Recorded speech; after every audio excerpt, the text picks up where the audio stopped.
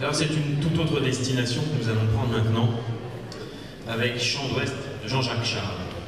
Alors là, le décor est assez simple à planter. Vous imaginez la Bretagne, la pointe du Rhin, la mer, la tempête, les bateaux qui sont euh, chahutés par le vent, et puis le phare qui indique toujours la ligne à suivre et qui rappelle toujours aux marins par où il faut rentrer. La Champ d'Ouest, c'est exactement ça. Cette pièce en, en trois temps va vous emmener sur les bords de la Bretagne. Voici donc Champ d'Ouest de Jean-Jacques Charles.